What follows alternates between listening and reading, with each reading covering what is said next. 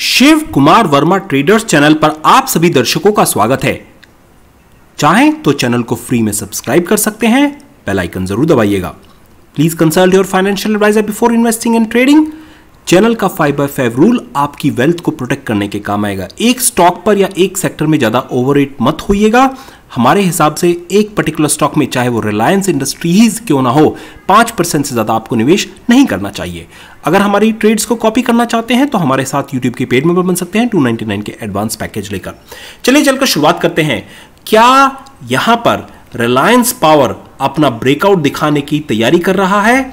बात करेंगे रिलायंस पावर की लेटेस्ट खबर, और साथ साथ में आज जो पावर सेक्टर में गिरावट आई है, उसका इसके ऊपर क्या इंपैक्ट होगा? जीटीएल इंफ्रास्ट्रक्चर के बारे में भी बात करेंगे और देखेंगे टेक्निकली ये स्टॉक आगे के लिए क्या रणनीति बना रहा है यहाँ पर। सबसे पहले अगर हम बात करें, आपको पता ही होगा कॉर्पोरेट एक्शन जो लिया गया है Reliance Power and Reliance Infrastructure के द्वारा, उसमें काफ़ी पॉजिटिव एक्शन आएगा अगर वो सक्सेसफुली कंप्लीट हो जाता है रिलायंस पावर और रिलायंस इंफ्रास्ट्रक्चर के फेवर में। रुपीज़ 13,700 करोड़ रुपए का दावा ठोका है। इन्होंने अदानी ग्रुप के against this could be the next big trigger power stock overall आज काफ़ी लॉस में थे। निफ्टी इनफैक्ट एक पॉइंट पर 1.5 परसेंट गिरा हुआ था और बंद होते होते 10.3 परसेंट के आसपास जाकर बंद हुआ है।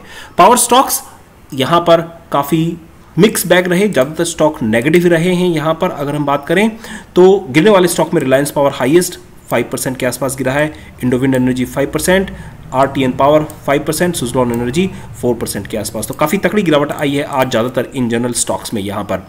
अगर हम अपने व्यू के हिसाब से बताएँ तो ये अब सपोर्ट के काफ़ी नीचे आ चुका है। आप चाहें तो इसको अपने पोर्टफोलियो में ऐड कर सकते हैं, शॉर्ट टर्म के ट्रेडर्स क्या होंगे? सही लेवल लॉन्ग टर्म के बाई के लिए वो टेक्निकल एनालिसिस के माध्यम से बताया जा सकता है। तो सबसे पहले अगर हम बात करें रिलायंस पावर का आज का दिन कैसा रहा? मॉर्निंग में गैप के साथ खुला और इनफैक्ट इसने काफ़ी अपॉर्चुनिटी दी है जो लोग एग्जिट करना चाह रहे थे, जिनको एग्जिट की अपॉर्चुनिटी मिल रही थी। आज ऑलमोस्ट दो बजे तक काफ़ी एग्जिट की अपॉर्चुनिटी थी। पर ये एग्जिट की अपॉर्चुनिटी यहाँ पर एग्जिट नहीं इनफैक्ट आपको लोअर लेवल पर बाइंग की अपॉर्चुनिटी मिल रही है।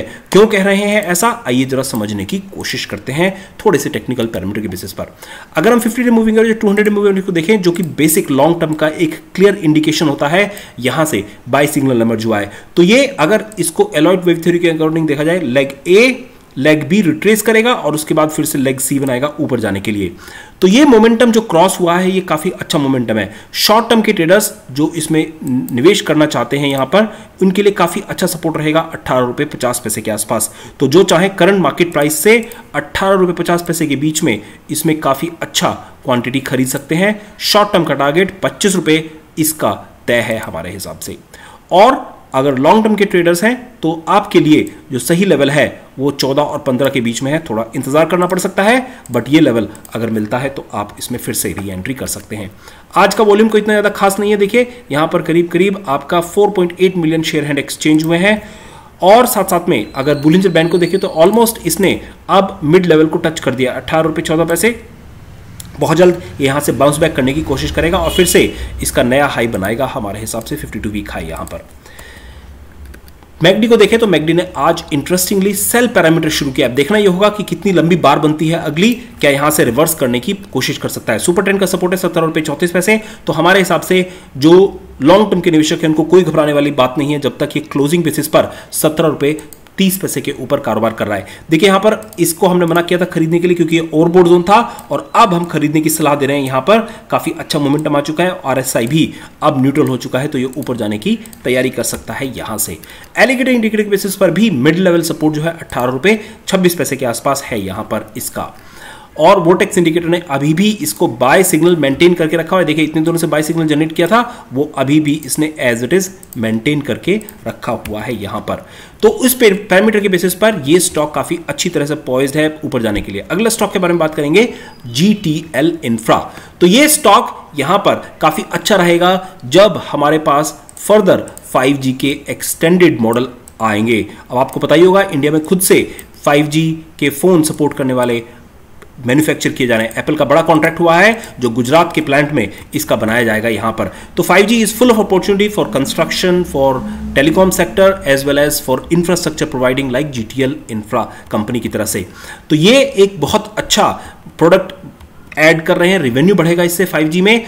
प्रॉफिट आफ्टर टैक्स बढ़ेगा रिटर्न ऑन कैपिटल सब प्लेयर्स के लिए बढ़ेगा। ब्रोकर्स का भी उसको बाई की रिकमेंडेशन है और हमारे हिसाब से ये तैयारी कर रहा है काफ़ी अच्छे मल्टी बैगर रिटर्न देने के लिए, अगर आप तीन साल का होराइजन रख सकते हैं स्टॉक में। वैल्यूशन दृष्टि से ये अभी भी फेयर वैल्यू रेंज में ही है, आप चाहें तो इसको अपने पास खरीद सकते हैं। सेल्स तो अच्छी है but margin due to their interest cost as well as depreciation काफ़ी कम रहते हैं। तो यहाँ पर इनको काम करना होगा।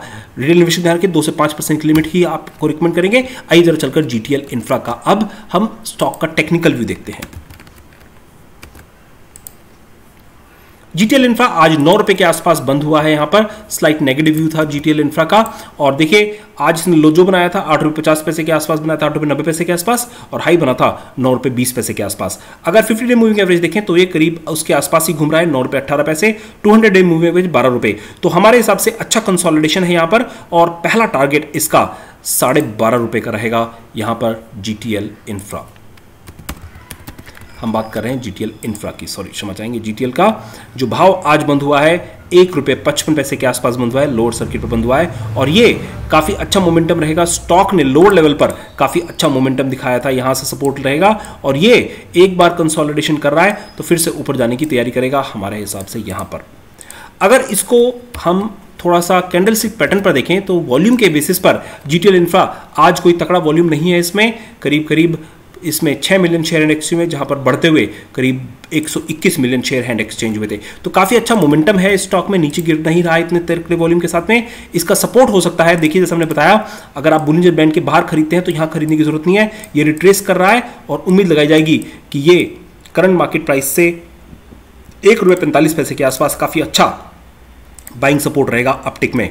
इसकी बैंडविड जो है 43 के आसपास है, काफ़ी अच्छी बैंडविड हो रही है। वॉलेटाइल स्टॉक रहेगा कुछ टाइम के लिए अभी बैंडविड के बेसिस पर।